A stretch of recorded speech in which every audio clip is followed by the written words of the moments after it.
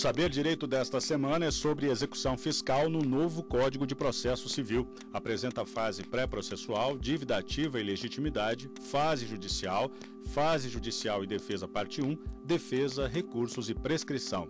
O professor é o procurador da Fazenda Nacional Felipe Duque, mestrando em Direito Político e Econômico. Agora, no Saber Direito.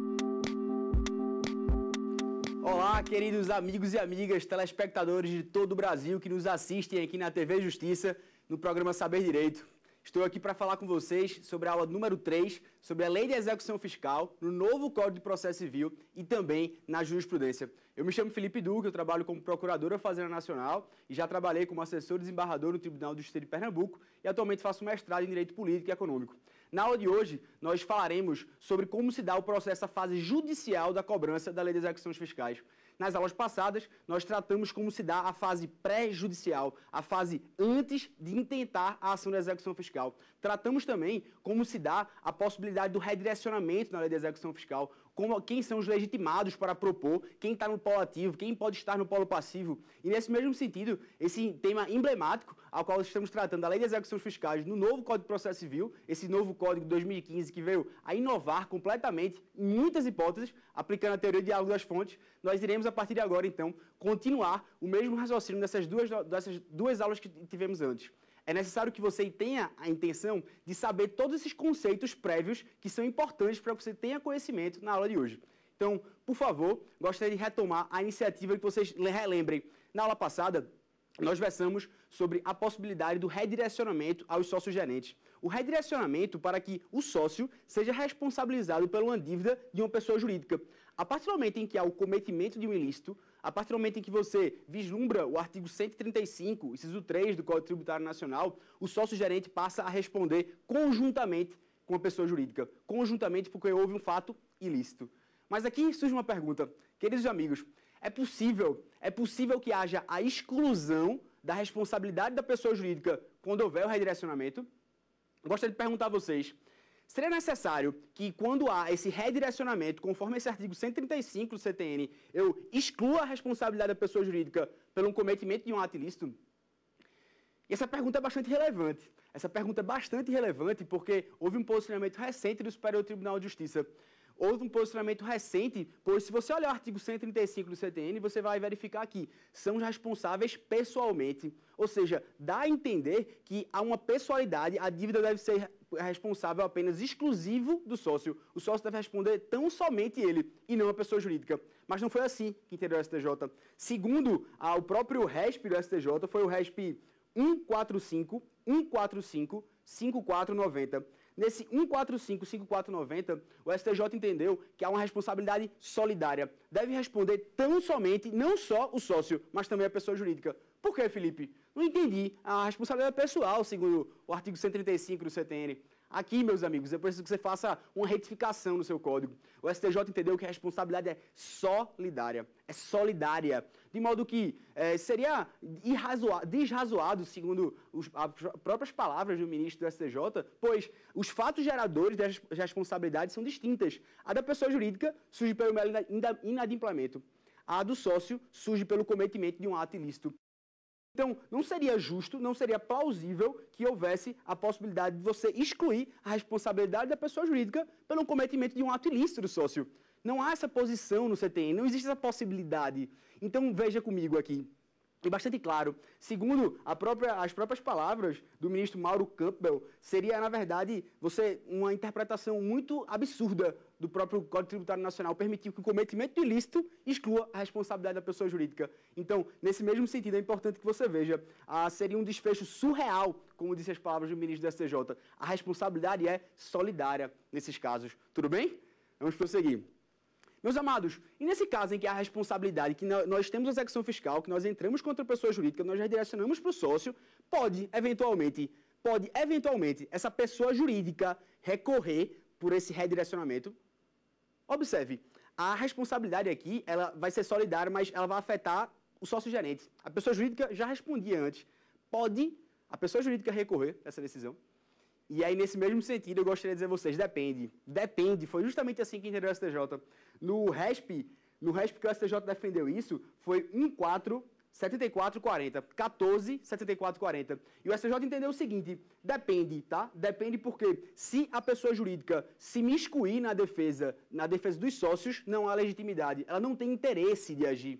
Por outro lado, caso a pessoa jurídica defenda não seus próprios interesses, mas sua autonomia patrimonial, torna-se lícita, portanto, a legitimidade para ela poder recorrer. Tudo bem? Amigos, nós vamos passar agora para um ponto importantíssimo, importante, o ponto sublime da aula de hoje. É o ponto em que você deixa tudo para todos os momentos, desliga o celular, afasta tudo e fala, preste atenção. Preste atenção, pois isso aqui é um dos pontos mais importantes das inovações do novo Código de Processo Civil na Lei das Execuções Fiscais.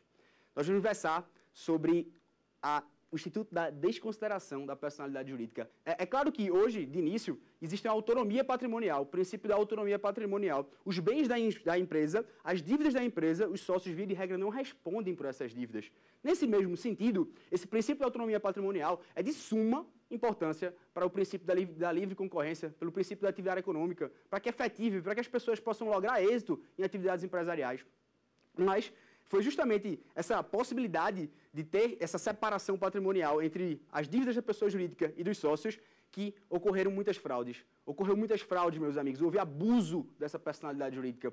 Abuso da personalidade jurídica que, segundo hoje o artigo 50 do Código Civil, enuncia que é possível você desconsiderar a personalidade jurídica, desconsiderar episodicamente, desconsiderar temporariamente, o que não exclui a, a, a, personalidade jurídica para atacar os bens do sócio, em caso de desvio da finalidade ou confusão patrimonial. É o artigo 50 do Código Civil. E essa teoria surgiu, antigamente, justamente pela doutrina de Rubens Requião, lá por volta de 1960. Houve a primeira disposição sobre a desconsideração no Código de Defesa do Consumidor no artigo 28, inciso 1 do Código de Defesa do Consumidor, trouxe essa possibilidade de que os sócios respondam pelas dívidas da pessoa jurídica em caso de abuso, em caso de abuso da personalidade jurídica, por desvio de finalidade ou por confusão patrimonial.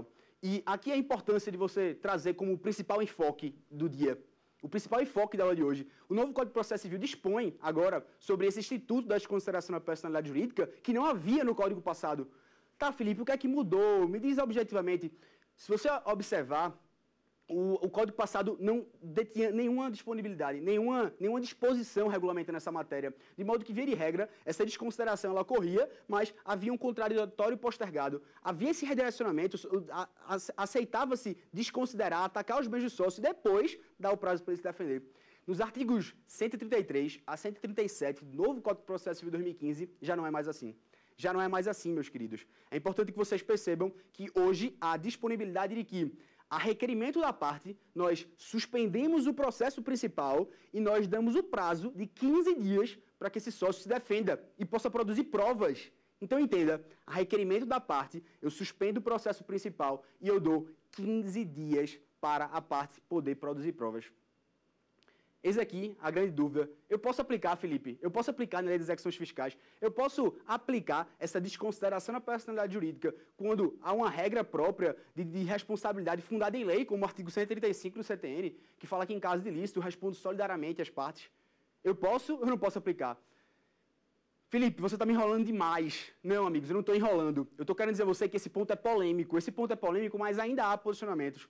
Se você parar para perceber, há hoje o primeiro IRDR, o primeiro IRDR do TRF da terceira região.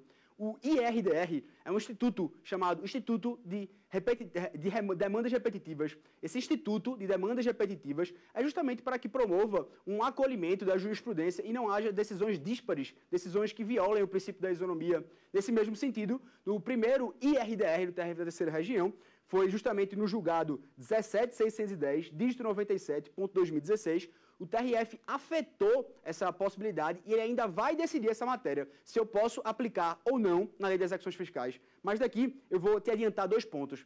As duas posicionamentos. O posicionamento de Leonardo Carneiro da Cunha entende que é plenamente compatível você aplicar o IDPJ na lei das execuções fiscais. Segundo este renomado autor, ele entende que há necessidade de provar essa responsabilidade subjetiva do dolo ou culpa para que sócio responda. E por isso não há nenhum prejuízo que a execução fiscal fique suspensa. Não há, inclusive, nenhum prejuízo segundo esse renomado autor. Ele entende que formaria uma coisa julgada, haveria estabilização dessa decisão, seria necessidade de um cumprimento de sentença caso fosse decidido. Porém, isso não é unânime, meus caros. Isso não é unânime. O posicionamento da PGFN, o posicionamento do enunciado dos magistrados, o, enunciado também do Fórum de Execuções Fiscais, do TRF2 e do TRF4, hoje se posicionam pelo não aplicação do IDPJ, do IDPJ na Lei de Execuções Fiscais. Felipe, por quê? Simplesmente porque ele vai de encontro aos princípios que regulamentam a execução fiscal. Se você perceber, há uma possibilidade de que você faça com que o sócio ele possa se defender sem apresentação de garantia prévia. E como veremos a seguir, para que você se defenda na lei de execuções fiscais, o artigo 16, parágrafo 1 da lei de execuções fiscais, dispõe que há necessidade de garantia. Há necessidade de garantia para que se defenda. E nesse caso, nós criamos uma possibilidade de que o sócio possa se defender, mesmo que não haja garantia prévia. Felipe, vocês estão falando um fundamento. Esse fundamento, ainda mais outro, meus amados. Ainda outro. Além desse primeiro fundamento, existe a possibilidade de que você suspenda a lei das execuções fiscais tão somente com requerimento. Tão somente com requerimento de DPJ. Então, você requer e aí você suspende as execuções fiscais. E se você vai suspender todas as execuções fiscais, imagine o prejuízo que causa a própria celeridade e efetividade dessa recuperação dos créditos públicos. Esse é um segundo fundamento. Segundo fundamento muito importante. Além disso, essa própria suspensão que se dá automática, ela também fere outro princípio. Fere o, princípio, o próprio recurso repetitivo, na verdade, decidido pelo STJ, que para que se suspenda a execução fiscal, é necessário ter garantia e é necessário ainda ter uma tutela provisória, uma fumaça do bom direito, um perigo da demora. Foi justamente o que foi decidido no recurso repetitivo 127, 827, 127, 827 pelo STJ.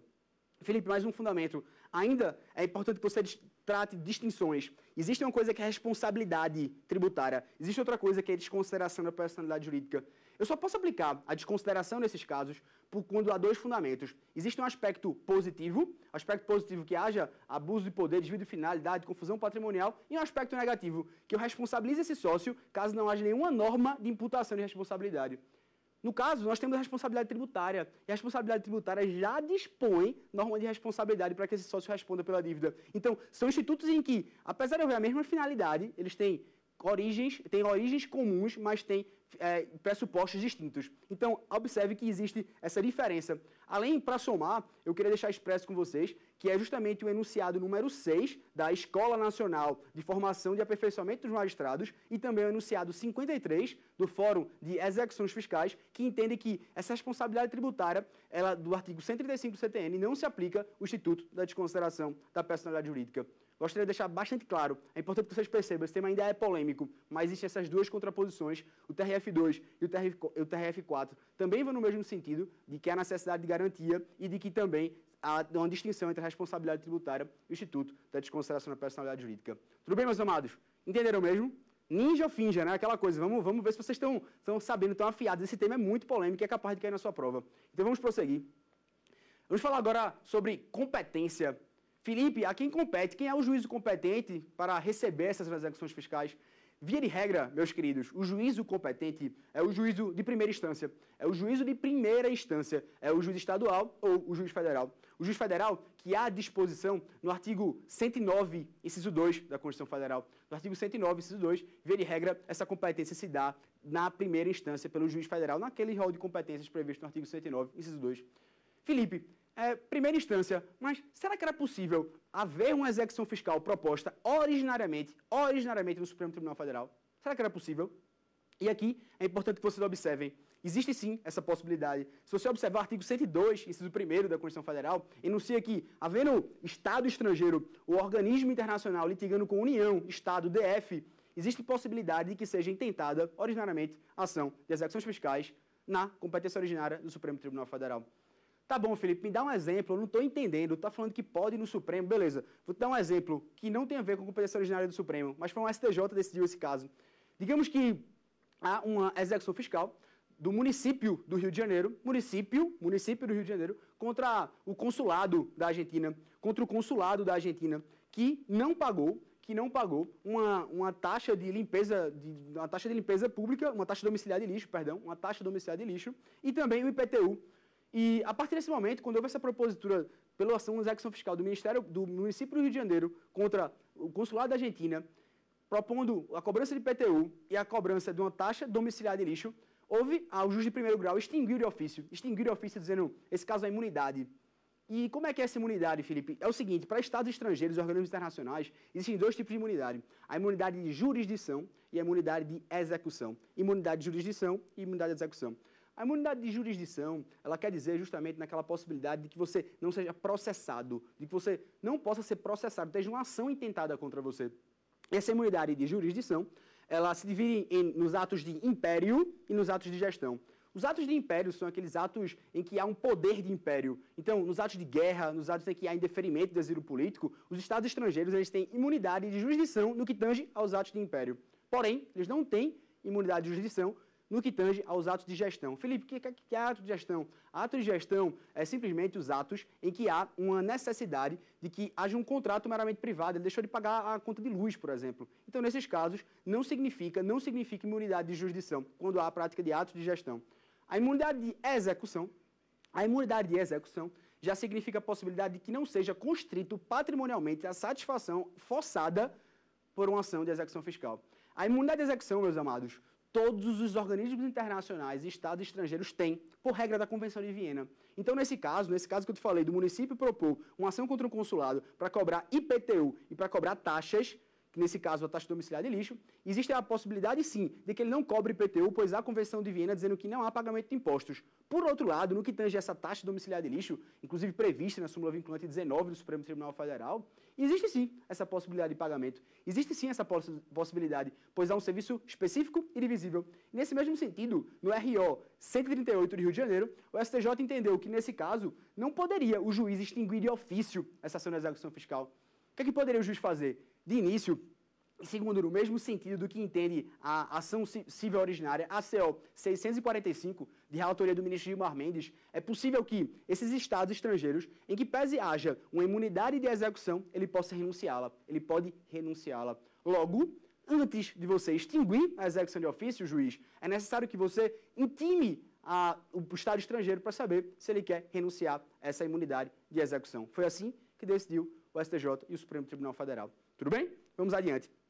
Meus carados, meus, meus amados, perdão, estou querendo que vocês fiquem bastante à vontade. Esse tema é, são muitas informações, Felipe, eu sei, mas é importante que você tenha atenção, pois isso aqui é muito relevante. Tudo bem?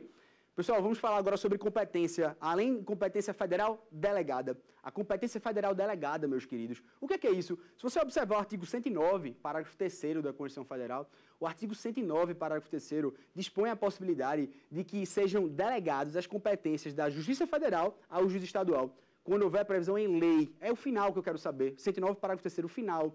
Se você prestar atenção no final, foi ela, justamente essa disposição da Constituição Federal, que recepcionou, que recepcionou a Lei 5010 de 1966, que no seu artigo 15, inciso 1 trouxe a possibilidade de que haja uma propositura, haja uma propositura de uma ação de execução fiscal na Justiça Estadual, se não houver comarca da Justiça Federal com o domicílio do executado. Então é possível que, se por exemplo eu vou propor uma ação de execução fiscal União, que o domicílio do contribuinte seja, por exemplo, em Mogi das Cruzes, São Paulo, e se em Mogi das Cruzes, São Paulo não existe justiça federal lá, ele pode propor na justiça estadual. O juiz estadual age como se juízo federal fosse como se juízo federal fosse. E, propriamente, a doutrina critica não é uma competência federal delegada, não é a competência que se delega, é apenas a transferência do exercício, a transferência do exercício dessa competência por razões de amplo acesso à justiça. Para estar mais perto do domicílio do contribuinte, para estar mais perto, possivelmente, do seu patrimônio.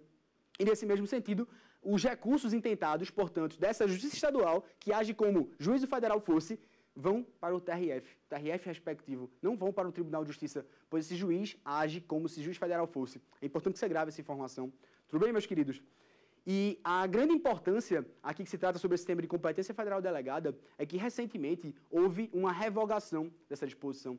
Houve uma revogação, segundo a Lei 13.043, 13.043 de 2014, extinguiu essa competência federal delegada no final de 2014. E a primeira pergunta que se faz é: Ô Felipe, se houve uma extinção dessa competência federal delegada, ou seja, ainda que o, o domicílio do contribuinte não tenha justiça federal, deve se propor na justiça federal. Hoje, não tem mais essa vigência da competência federal delegada. E o que aconteceu com os processos, Felipe? O que aconteceu com os processos que estavam tudo lá, chegou essa lei, eu mandei todos os processos para a Justiça Federal. Como é que houve o trâmite? E aí, meus queridos, muito cuidado, muito cuidado. Pois, se você observar, houve uma disposição no artigo 75 dessa Lei 13.043 de 2014, houve a menção que apenas os novos processos, apenas os novos processos que serão intentados na Justiça Federal. Não se promoveu o deslocamento de todos esses processos que estavam tramitando anteriormente à vigência da lei para a Justiça Federal. Eles continuaram na Justiça Estadual. Só a partir de 14 de 11 de 2014, agora a intenção, o intento, a, a finalidade é que seja proposta na Justiça Federal, embora não haja domicílio do contribuinte. Tudo bem? Preste atenção nisso, tá bom? Vamos lá. Pessoal, Passando para outro tema, é importante que a gente perceba que, via de regra, a competência é da Justiça Federal ou Estadual, mas existe possibilidade de haver competência da Justiça Eleitoral, por exemplo. Justiça Trabalhista, isso mesmo. A Justiça Eleitoral ela pode cobrar multas eleitorais em execução fiscal. Seria o conflito de competência do STJ decidido 23.132, a possibilidade de cobrança de multa eleitoral, sendo o juízo competente a Justiça Eleitoral. Também pode ser trabalhista. Né? A justiça trabalhista, se você perceber, a disposição no artigo 114, inciso 7 da Constituição Federal, fala que as penalidades administrativas impostas por esses órgãos de fiscalização devem ser propostos na justiça trabalhista, essas execuções fiscais. Por fim, para a gente encerrar a competência, é importante que você perceba competência territorial. A competência territorial, onde, onde eu proponho essa execução fiscal, Felipe, domicílio do contribuinte, é a aplicação expressa do artigo 46, parágrafo 5 do novo Código de Processo Civil. Não há disposição, meus queridos, na lei de execução fiscal. Se não há disposição na lei de execução fiscal, eu aplico a teoria diálogo das fontes. Eu aplico a teoria diálogo das fontes, eu aplico a subsidiariedade do novo Código de Processo Civil, eu aplico a teoria da especial, eu aplico o novo código. E nesse quesito, então, você deve alegar deve ajuizar a sessão de execução fiscal no domicílio do contribuinte. É via de regra o que dispõe o artigo 46, parágrafo 5 E se depois, Felipe, se depois que eu proponho a execução fiscal, o contribuinte se muda. Ele morava lá em Mogi das Cruzes, eu propus, e depois, ele, seis meses, ele muda, ele vai morar na capital. A de execução fiscal agora ela vai para a capital? Não, amigos, não, amigos. É o princípio da perpetuatio jurisdiciones, artigo 43 do Código de Processo Civil. Considera-se o juízo competente a data da propositura da demanda, quando se propõe. Se houve uma modificação de residência, isso é irrelevante. Isso é irrelevante. É o que dispõe o artigo 43 do Código de Processo Civil. Pessoal, a gente está encerrando a parte de competência e vamos falar agora sobre fase judicial da execução fiscal. É importante que você perceba que do artigo 6 ao 5 ao 15, nós vamos falar sobre como se dá o ajuizamento da execução fiscal. Ajuiza-se a execução fiscal, o juiz recebe, se dá um despacho, ele diz quais são os efeitos, a possibilidade de você se defender ou não se defender. Então, existe agora o procedimento de execução fiscal, é o que nós, você vai conferir a partir de agora. E nesse mesmo sentido, antes disso, eu gostaria de perguntar a vocês, gostaria, na verdade, de chamar a pergunta dos nossos queridos telespectadores. Por gentileza, vamos prestar atenção. Eu gostaria de saber se é necessária indicação de CPF, RG ou CNPJ da parte executada na execução fiscal. Muito bom, meus queridos, muito bom. É, é necessário que eu indique o CPF e o CNPJ durante essa petição inicial. Nessa fase judicial da execução, é necessário que eu indique o CPF e o CNPJ quando eu propor essa execução fiscal. E aqui é importante que você observe o artigo 6 da Lei de Execuções Fiscais dispõe quais são os requisitos da petição inicial. E ela é bastante simples, bastante simples. Basta que você junte a CDA, você faça o endereçamento a qual o juízo competente, faça os pedidos e o requerimento para a citação. A, a, a, simplicidade de como se propõe essa execução fiscal. A CDA contém tudo. E como você pode ver, se você observar o artigo 2 parágrafo 5 ela diz o que é que deve conter esse termo de inscrição individuativa. E a CDA é um próprio espelho do termo de inscrição. Então, Felipe, a resposta para essa pergunta é não. Não é possível. Não é possível que haja indicação do CPF CNPJ. Mas, Felipe, estava vendo aqui minhas anotações. E dentro do artigo 319, 319, inciso 2 do Código de Processo Civil, ele dispõe que, para que eu proponha a petição inicial na execução civil comum, é necessário, sim, no procedimento ordinário, que eu indique o CPF CNPJ. Foi disposição nova do novo Código de Processo Civil. Eu devo aplicar na execução fiscal? Meus amados, não. Meus amados, não, pois aqui vigora de novo esse princípio da especialidade. A especialidade diz quais são os requisitos que são compostos para que se proponha a execução fiscal. E não há, nesse requisito da petição inicial, essa indicação ao CPF CNPJ. Esse entendimento, inclusive, ele é simulado. Súmula 558 do STJ. Respondendo a pergunta, não é necessário CPF CNPJ, pois a súmula 558 do STJ. Tudo bem, meus queridos? Vamos adiante, por gentileza. É importante agora que vocês percebam, como eu te disse, essa fase judicial da execução, a gente propõe a ação da execução fiscal quando nós propomos a uma possibilidade de que esse juiz ele dê um despacho deferindo a inicial ou não deferindo? Ou indeferindo essa petição inicial. Então, a partir do momento que há no artigo 7 o despacho do juiz, esse despacho não é tão simples quanto se parece. Esse despacho é um plus, é um plus, pois o juiz dá o despacho para a citação, ele dá ainda a possibilidade de que você possa ter um auto de penhora, um termo de penhora, você expropria os bens do executado, caso ele não pague no prazo de cinco dias, ou caso ele não garanta a execução fiscal, e ainda assim você confere o poder que um oficial de justiça a, a registre no cartório de registro de imóveis e ainda avalie o valor do bem. Então, esse artigo 7 ele dá amplos poderes. É isso que torna esse procedimento da execução fiscal mais sério e eficaz e diferenciado do rito de procedimento comum. Fique ligado nisso. A diferença do artigo 7 é que há um plus, há um plus a mais. Existem mais possibilidades do que ser apenas um mero despacho de citação. Tudo bem? Além disso, gostaria de falar com vocês sobre o artigo 8 Artigo 8 parágrafo 2 da Lei das Execuções Fiscais.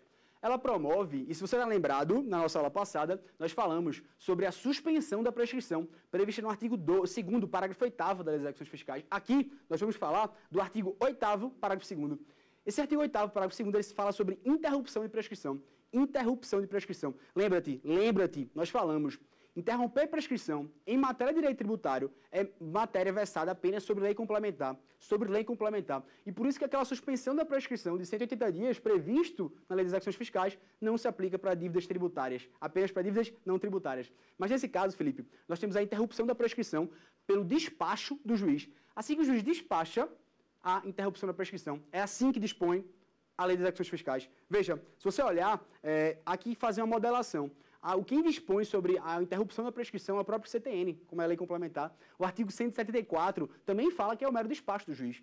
E esse posicionamento foi decidido pelo STJ da seguinte forma: não é o mero despacho do juiz que interrompe a prescrição, não é o mero despacho do juiz. Sim, é o despacho do juiz mais retroativo à data propositura da demanda.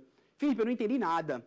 Veja, o STJ, justamente no RESP 112.0295, 112.0295, decidiu, em sede de recurso repetitivo, que deve se interpretar conjuntamente o artigo 174 do CTN com o artigo 219, parágrafo 1 do Código de Processo Civil de 73, o que interrompe a prescrição retro, é, é, é, o despacho do juiz, mas retroativo à data de propositura da demanda. Significa, em efeitos práticos, o que interrompe é quando eu proponho a ação na execução fiscal. Felipe, você não me explicou o porquê.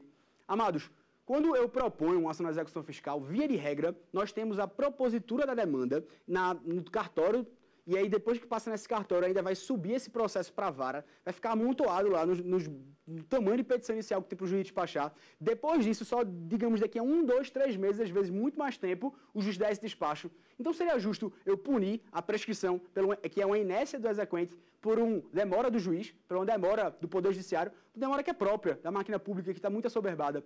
Então, nesse mesmo sentido, foi justamente isso que considerou.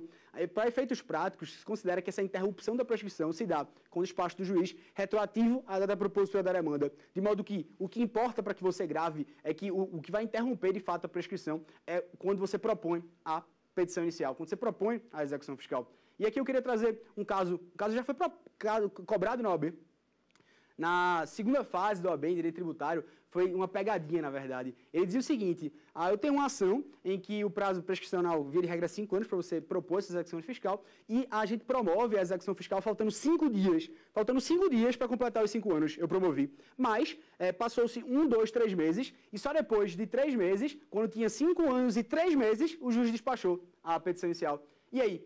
Prescreveu ou não prescreveu? O prazo é de cinco anos. Se você for interpretar friamente a disposição, você entende que é com o despacho do juiz que se interrompe. Se o despacho do juiz for com cinco anos e três meses, está prescrita. E aí era grande pegadinha, meus amados. Se você não tiver essa anotação, que o despacho do juiz interrompe a citação, mas retroativo à data propositura da demanda, você cai nessa pegadinha. Então fique ligado, fique ligado, isso é muito importante. Tudo bem? Vamos lá. Pessoal, eu gostaria de falar com vocês agora sobre a possibilidade de que você haja sobre como se dá essa citação. Como se dá a citação? O artigo 8 é belíssimo. Ele é belíssimo, o artigo 8 das execuções fiscais. Ele dispõe como eu faço essa citação. Ele dá várias modalidades de citação. E se você olhar, esse, justamente esse artigo 8 ele fala que a citação deve ser dada no prazo de cinco dias para que você pague ou que você garanta. Para que você pague ou você garanta. O artigo 929 do Código de Processo Civil, para as execuções de títulos executivos extrajudiciais, diz que o prazo é de três dias. Então não confunda. Na execução fiscal, o prazo é de cinco dias, segundo o artigo 8 Via de regra, se você interpretar o artigo 8 você perceber que a prioridade é a citação por carta com aviso de recebimento. Por carta com aviso de recebimento. Depois disso, se a carta não retorna, por exemplo, no prazo de 15 dias a essa agência postal, se não retorna no prazo de 15 dias, nós temos a citação por oficial de justiça. E é belíssimo a possibilidade, como diz a LEF, é, quando você prevê essa possibilidade de que a citação ela não pode ser feita aqui por hora certa. Como falamos na aula 1, não pode ser feita a citação por hora certa prevista no Código de Processo Civil, pois a LEF não dispõe sobre isso. E se a LEF não dispõe, não cabe citação por hora certa na lei de execuções fiscais. É o melhor entendimento da doutrina nesse ponto. Felipe, como é que se dá a citação de pessoa que mora fora do país? Eu quero saber se você está lembrado, a gente comentou. Quando a pessoa está fora do país, vê de regra no processo civil é por carta rogatória. Por carta rogatória. Aqui na execuções fiscais, não. A citação dá por edital. É uma modalidade diferente. É uma modalidade diferente, meus queridos. Então, nós não aplicamos a citação por carta rogatória prevista no Código de Processo Civil na Lei de Execuções Fiscais. Tudo bem? Vocês estão falando muito rápido, você tem um sotaque meio matuto, mas, por favor, compreenda. Compreenda que é importante você entender esse conteúdo. É muito relevante. Além disso, falando sobre as modalidades de citação, nós temos a carta com aviso de recebimento, nós temos o oficial de justiça e depois nós temos a citação priorital. Ah, Felipe, é, é, muito importante vocês entenderem essa história, né? É, a fazenda via de regra, antigamente, ela tinha a necessidade, ou então ela tinha uma preferência, talvez, de pedir a citação priorital. Logo, era mais vantajosa para ela. Por quê? Porque a via de regra, quando você é citado por cinco dias para pagar ou garantir, o que acontece, muitas pessoas elas querem fraudar o fisco e elas vão dilapidar o seu patrimônio, elas vão esconder o seu patrimônio. E nesse mesmo sentido, você traz a possibilidade, então, de que citando por edital, muitas pessoas não veem citação por edital, você tem a possibilidade de achar esse patrimônio, de fazer um bacenju e conseguir a constituição patrimonial. Então, o que é que aconteceu? O SJ interpretou que esse artigo 8 ele deve ser interpretado, deve ser visto como a possibilidade de que você perceba que deve ser feita a ordem que está no artigo 8 Não posso, de primeiro, querer a citação priorital. É o que dispõe, meus amados, a própria súmula do STJ, súmula 414 do STJ. Ela diz que a citação priorital deve ser feita como última ratio, como a última razão, como depois de não esgotar todos os meios, mas pelo menos tentado todos os meios. Carta com aviso de recebimento, oficial de justiça, depois, sim, a citação priorital. É assim que dispõe a súmula 414 do Superior Tribunal de Justiça. Além disso, é importante que eu fale para vocês a necessidade de que, se você está vendo que a citação priorital é a última rádio, é a última razão, depois de tentado tudo, eu também vi aqui uma pegadinha do OAB. A pegadinha do OAB, no caso prático, ele falava justamente isso. Dizia que você era citado priorital, depois houve constituição patrimonial. Dava um caso bem grande. Se você não percebeu isso, a sua primeira citação foi priorital. E a primeira citação priorital não pode ser feita. Ela é nula. Portanto, essa constituição patrimonial posterior feita por citação priorital, se não for tentado outros meios ou justificado pela Fazenda a necessidade de que seja feita essa ação priorital direta. Porque se a Fazenda provar, pelo menos pelo artigo 8 inciso 1 de que, olha, é, esse cara não estou conseguindo achar ele a todo custo, já comprovei aqui, já teve vários processos, então, realmente, para não ter atos inúteis, cito priorital. Mas, nesse caso, a Fazenda está comprovando, pelo artigo 8 inciso 1 essa faculdade que se dá assim que você lê a Lei das Execuções Fiscais. Além disso, meus amados, é importante que eu faça um, questionamento a vocês. É, ô, Felipe, se esse cara for citado por aí tal, eu fiquei, eu fiquei questionando aqui, tem nada a ver com. Não, tem tudo a ver. Se eu, se eu fiquei pensando aqui, se eu fui citado por aí tal, cito por aí tal, você não, geralmente não vê, você vê diário oficial, a maioria das pessoas não leem isso. Então, se a pessoa é citada por aí tal, o que é que acontece? Eu fico sem defesa no processo, ninguém vai me defender. O que é que acontece? Bom, é aqui, meus queridos, que nós aplicamos, novamente, o Código de Processo Civil. A teoria de diálogo das fontes, famosa TDAH, que é, é idealizada por Eric James, trazida por Claudio Lima Marques e foi aplicada num parecer da PFN fantástico, do Dr. Paulo Mendes. nesse sentido, eu posso sim aplicar essa possibilidade de que seja nomeado um curador especial. Seja nomeado um curador especial. Artigo 72, inciso 2 do Código de Processo Civil. Artigo 72, inciso 2 do Código de Processo Civil fala que quando você for citado e você for revel, nomeia-se um curador especial. E nesse caso, é também o que dispõe a súmula 196 da CJ o, o Superior Tribunal de Justiça entendeu que era possível essa aplicação na lei das execuções fiscais. Tá bom, Felipe, mas o cara é citado por edital, eu cito por edital, nomeio um curador especial, esse curador especial vai me defender, certo, tudo bem. Mas você vai me falar, você já falou que os embargos necessitam de garantia. Os embargos necessitam de garantia. Esse curador especial, Felipe, ele vai apresentar garantia, então ele vai tirar o dinheiro do próprio bolso e vai lá, toma, vou aqui, garanto e agora eu me defendo. Não, isso não é justo, isso não é razoável. Foi justamente isso que entendeu o Superior Tribunal de Justiça. No RESP, no recurso repetitivo, disponibilizado pela, pelo STJ, foi justamente o RESP 1.110, 1.110, 548, 1.110, 548. esse curador especial, ele não precisa de garantia para embargar. Tudo bem, meus amados? Tá tudo certo? Ninguém caiu da cadeira, não. Tá todo mundo entendendo. Estou falando muito rápido, mas é importante que você perceba. A lei das execuções fiscais ela é belíssima. Ela é belíssima. E com o novo Código de Processo Civil, então, tem a, mais celeridade, mais eficácia a esse dever fundamental de pagar tributos que hoje existe no nosso Código Tributário Nacional. Gostaria de chamar agora, por gentileza, a nossa segunda pergunta. É possível a verbação da execução fiscal em cartório de registro público? Ótimo, meus amados. Essa pergunta é espetacular. É espetacular. Isso porque eu posso averbar uma ação de execução fiscal proposta no cartório de registro de imóveis. Eu posso averbá-la. É, qual a finalidade, Felipe disse? Qual a finalidade de eu averbar é, uma ação que eu propus no cartório de registro de imóveis? A finalidade, meus queridos, é puramente dar conhecimento a terceiros. É dar conhecimento para que todos tenham ciência de que existe uma ação correndo contra você. E o Código de Processo Civil, ele faculta essa possibilidade nas execuções normais, execuções de procedimento comum, sem ser execução fiscal. E a pergunta que se faz é, Felipe, eu posso averbar a execução fiscal que eu propus no cartório de registro imóveis para que todos tenham ciência? E aqui eu vou te falar, meus queridos, depende. A, além da pergunta ser um pouco polêmica, mas depende. Se for para os créditos tributários, se for para os créditos tributários, se for para dívida ativa, inscrição em dívida ativa de débitos tributários, não é necessário. Felipe, não estou entendendo. Por que não é necessário para a dívida ativa tributária? Simples, meus queridos, simples. A fraude à execução fiscal em dívida tributária se dá o marco temporal a partir da inscrição em dívida ativa. A partir da inscrição em dívida ativa, nós falamos isso na aula 1, Falamos já uns quatro requisitos e quatro efeitos da inscrição em dívida ativa, então bastante atenção, pois a partir do momento em que há inscrição em dívida ativa, que é bem antes, olha, que é bem antes da, de entrar com essa execução fiscal, a partir da inscrição eu tenho fraude à execução fiscal se eu dilapidar meu patrimônio, se eu jogar meu patrimônio para outros terceiros, enfim, se eu de alguma forma transferir esse meu patrimônio. Nas dívidas tributárias, a partir do efeito é da inscrição em dívida ativa, é o artigo 185 do CTN. Tá bom, Felipe, eu entendi, eu entendi que é o artigo 85 do CTN. E se você perceber, a averbação da execução fiscal, ela se dá em caráter posterior. Ela se dá, portanto, depois que você entra com a ação, então é muito depois. Por isso que não vale a pena, por isso que não é razoável, por isso que não é entendível aplicar essa disposição para as dívidas tributárias. E para as dívidas não tributárias, Felipe, é possível aplicar para as dívidas não tributárias? É aqui reside um ponto polêmico. Aqui reside um ponto polêmico.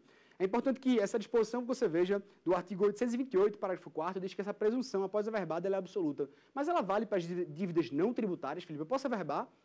Bom, um ponto polêmico. Se você observar, o artigo 4 parágrafo 2 da Lei das Execuções Fiscais, ela permite que, de certo ponto, em teoria doutrina, você pode interpretar que a, a, própria inscrição em dívida ativa seja um marco também de fraude para as dívidas não tributárias. Porém, a outra parte da doutrina que não entende assim. Não entende assim, entende que o marco temporal para as dívidas não tributárias seria com a citação seria com a citação, então, salvo comprovado má fé. Então, para as dívidas não tributárias, a doutrina que entende sim que essa verbação da execução fiscal seria razoável, seria lícito, portanto, seria justo você averbar, porque a partir daí nós configuramos fraude da execução fiscal e não com a citação. Porque primeiro você propõe a execução, se for a verbo, eu estou averbando antes da citação. Então, via de regra, existe uma melhora, existe um posicionamento benéfico, portanto, eu posso aplicar a verbação da execução fiscal para as dívidas não tributárias. Tudo bem, meus amados? Estamos prosseguindo aqui no assunto e eu gostaria de falar com vocês rapidamente, rapidamente, sobre fraude à execução fiscal. Sobre fraude à execução fiscal e civil, que tem diferenças, que são institutos distintos. Por que, Felipe? De início, de início logo para você arrematar, arrematar esse assunto. Eu não aplico a súmula 375 do STJ para as dívidas tributárias. Veja, faça uma conexão de ideias. Por que não aplica a súmula 375 do STJ? Porque ela diz que para configurar a fraude à execução civil, a fraude, que é justamente os atos em que você aliena ou grava de ônus real seu patrimônio, a partir, se você dá a leitura do artigo 792 do Código de Processo Civil, você vai perceber que a partir do momento que eu alieno ou gravo de ônus real, quando eu tenho conhecimento da demanda, eu estou fazendo uma fraude à execução civil. Mas, por outro lado, na fraude à execução fiscal não aplica a súmula 375 do STJ, pois essa dispõe que, via de regra, é, você comete fraude quando é citado. Quando é citado, quando tem conhecimento da demanda. Ou seja, a fazenda deve comprovar a má-fé sua, após citado. Eu não aplico as execuções fiscais tributárias, pois o marco temporal é a inscrição em dívida ativa. É o que prevê o artigo 85 do CTN. Logo, eu não aplico essa súmula 375 do STJ para fraude à execução fiscal, apenas para execuções cíveis. E aqui chega a um ponto polêmico novamente. Um ponto polêmico, Felipe. Você adora falar de divergência. Não, meus amados. Eu estou falando do novo Código de Processo Civil de 2015, em que ainda há muita coisa indefinida. Se, observar, se você observar o artigo 792, parágrafo 3 792, parágrafo 3 do novo Código de Processo Civil dispõe que, a partir do momento em que você, a partir do momento em que você é, cita uma pessoa jurídica, digamos em 2010, estamos em 2010, e se em 2013 nós redirecionamos para um sócio gerente, redirecionamos a execução fiscal, cometeu um ato ilícito, e eu imputo essa responsabilidade a ele, via de regra, se ele vendeu um imóvel em 2012 ou em 2011, esse sócio gerente, isso configura fraude. É o que dispõe o artigo 792, parágrafo 3 do novo Código de Processo Civil. Conta-se a partir da citação da pessoa jurídica. Assim também, assim também é o enunciado 52 da Escola Nacional de Formação e Aperfeiçoamento dos Magistrados. Conta-se a partir da citação do devedor originário. Por outro lado, por outro lado, o STJ decidiu, com base no Código de Processo Civil de 73, ou seja, no Código passado, que, nesse caso, quando há um redirecionamento feito em 2013 e a citação da pessoa jurídica em 2010, só se configura a fraude à execução fiscal quando esse sócio vende a partir do momento em que ele é citado. Ou seja, só depois de 2013, tá? Não antes de 2012, 2011. Ou seja, indo em contraponto, indo em contraponto ao que dispõe o Código de Processo Civil 2015. Mas é importante que vocês percebam, essa jurisprudência que eu vou citar agora, ela foi feita com base no Código de Processo Civil de 1973. Não foi feito com base nesse artigo 792, parágrafo 3 do Código de Processo Civil, que ainda não foi apreciado pelo STJ-STF. O RESP, apenas para fins de registro, foi decidido, na verdade, no RESP 139, 139, 1830 de 2016. No RESP 139, 1830, foi decidido essa possibilidade de que, havendo o redirecionamento, conta-se a fraude a partir da citação do sócio quando há uma pessoa jurídica no polo ativo. Tudo bem? Vamos prosseguir? Bom, pessoal, é importante que a gente perceba a necessidade que a gente fala agora sobre o artigo, o artigo 9 do Código da Lei das Execuções Fiscais. O artigo 9 fala sobre o rol de garantia fala sobre o rol de garantia. E aqui é um ponto que eu vou trazer minha experiência, experiência prática, para falar com vocês. É, a importância que você perceba que você pode oferecer em garantia, via de regra, o dinheiro, o dinheiro, o depósito, o, o termo alto de penhora, você pode simplesmente oferecer seus bens à penhora, você pode fazer um seguro garantia, ou você pode oferecer uma fiança bancária. Você pode fazer o depósito de dinheiro, você pode fazer a própria oferecer um bem à penhora, ou você pode simplesmente fazer seguro garantia ou fiança bancária. Felipe, aqui eu falo na qualidade de pessoa física, tá? Aqui eu falo na qualidade de pessoa física. Isso é muito importante. A, a melhor garantia a ser oferecida é o dinheiro. É o dinheiro. E as pessoas vão achar que eu estou falando na qualidade de procuradora fazenda. Mentira. Por que o dinheiro, Felipe? O dinheiro é bom para as duas partes, tanto para a fazenda como para o contribuinte, como para o executado. Por quê? Isto porque o dinheiro é uma maravilha, meus amigos. É uma maravilha. Não há risco de você complementar esse dinheiro. Não há risco de você ter que oferecer depois um reforço. Se você observar o artigo 9, parágrafo 4 da Lei das Ações Fiscais, ela diz que oferecido o dinheiro em depósito, você não precisa, não precisa se preocupar com juros e correção monetária. Eles cessam, eles não atualizam. Então, você corre o risco de, por exemplo, se você oferecer o dinheiro numa ação em 2010, em 2015, se não correr juros e correção monetária, esse valor é muito maior do que aquele valor em 2010. Digamos que era 100 mil em 2010, em 2015 pode ser 300. Se você oferece outro bem, essa dívida correrá ainda com juros e correção monetária. E aqui eu tenho um caso curioso, aqui eu tenho um caso curioso. Peço permissão para vocês, pra, pra, pela coloquialidade, pelo exemplo simples, rasteiro. O seguro garantia, o seguro garantia é a possibilidade de você ir no banco e falar, banco, é, garante essa dívida para mim aqui, garante esses 100 mil reais aqui em 2010, e se tudo der errado, você paga. Você paga quando transitar em julgado essa ação, porque eu quero apresentar meus embargos, eu quero me defender. E o banco vai te garantir, quando ele garante, é a possibilidade de você apresentar defesa, porque nós veremos no artigo 16, parágrafo 1 da Lei das Ações Fiscais, que é a necessidade de garantia para que você embargue. E aí você chega no banco e fala, banco, eu estou aqui querendo pagar, mas eu, não tenho dinheiro me dá, toma 5 mil reais, oferece a, a fiança bancária, a fiança, oferece a fiança bancária no valor de 100 mil reais, o banco, ó, ótimo, meu querido, se preocupa não. Se tudo der errado, você passa a sua vida toda me pagando. Se preocupa com isso, não. Então, o banco está totalmente feliz com isso. Porque, é, vira e regra, se você, como eu falei, não, ainda corre juros e correção monetária. Ação que transita, que corre em 2010, mas que transita em 2015, aqueles 100 mil, meu querido, que você ia pagar, era, são 300 no futuro. São 300 mil reais, o que era 100 originariamente. Ou seja, você está pagando a Selic aqui, juros e correção monetária, porque você não ofereceu depósito de dinheiro.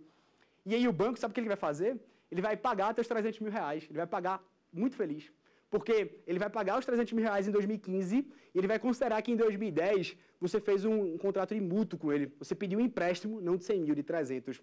E agora você vai pagar o juros de banco de 300 mil de 2010 a 2015. Aquilo que é 100 vira 500, meus amigos. Vira 500 mil. Então, por isso que se diz, né? Por isso que se diz que nada com banco se ganha. Nada com banco se ganha, meus amigos. É a mesma coisa que você dormir com um capeta, você fazer um negócio desse com banco. Ele vai torcer ali. Se ele pudesse, ele entrava como terceiro interessado e ficava perde, perde, perde, perde. É quase isso. É quase isso.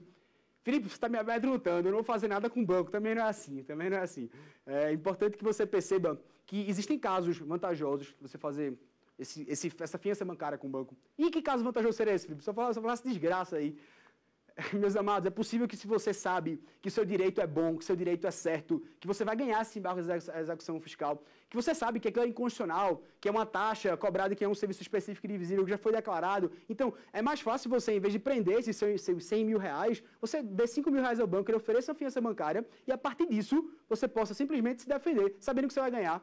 Esse é o caso vantajoso. A fiança bancária é bom quando você sabe que é prudente que você ganhe. Por outro lado, se você sabe que está em dúvida, tenha muito cuidado com a fiança bancária. Às vezes, é mais importante, ou é melhor, mais benéfico, você pedir um empréstimo ao banco e depositar em dinheiro. Por quê? Porque senão você vai pagar a Selic e depois os juros ao banco. Então, muito cuidado, muito cuidado com esse tipo de, seguro, de fiança bancária. Meus amados, mais um requisito é a possibilidade de seguro-garantia. O seguro-garantia foi trazido em 2014 em 2014, houve a disposição do seguro-garantia pela Lei 13.043 de 2014. A Lei 13.043 de 2014 houve a possibilidade de oferecer o seguro-garantia. A jurisprudência do STJ entendia que não havia possibilidade de oferecer o seguro-garantia. Ela entendia que havia ausência de disposição legal. Como não há dispositivo legal, não poderia ser oferecido o seguro-garantia. O seguro-garantia que tem as mesmas condições, as mesmas condições que há pela fiança bancária. As mesmas condições, o que muda, na verdade, é só que é prestado pelas seguradoras.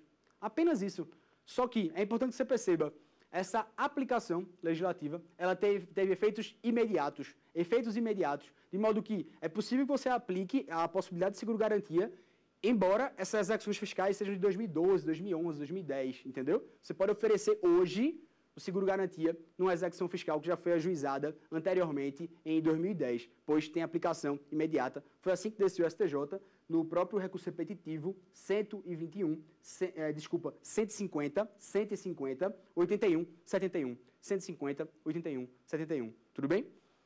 Felipe, uma dúvida que me surgiu aqui, por curiosidade. Essa fiança, como é que ela deve ser oferecida? A portaria, tá? A portaria hoje no âmbito da União, a Procuradoria-Geral da Fazenda Nacional dispõe sobre portaria como se deve dar essa apresentação dessa carta de fiança, mas a jurisprudência já entendeu um certo ponto, já entendeu um certo ponto que eu quero trazer para vocês. Não se presta, não se presta útil essa fiança oferecida quando ela tem prazo de validade determinado. Quando houver prazo de validade determinado, essa fiança não é útil, pois ela deve ter um prazo de validade indeterminado, pois, via de regra, as execuções fiscais demoram, meus amados. Então, preste atenção, tudo bem? Preste atenção nesse ponto porque é, foi o RESP 121 121 6345. Gostaria, por gentileza, de chamar nosso terceiro questionamento, nossos queridos e amados telespectadores. Eu gostaria de saber se é possível a penhora de um bem de família por dívida de IPTU. Meus amados, meus amados, a possibilidade de penhora de um bem de família por dívida de IPTU, a nossa querida aluna entra justamente no que falamos agora sobre o artigo 10. O artigo 10 é chamado penhoras portas adentro penhora portas adentro. O que é isso, Felipe? Você está. Não entendi o que é penhora portas adentro. O artigo 10 diz que se você não paga no prazo de cinco dias, disposto no artigo 8, quando você recebe essa citação do juiz falando, meu filho, você tem que pagar em cinco dias, ou pague ou garanta, para que você possa apresentar futuramente a execução fiscal.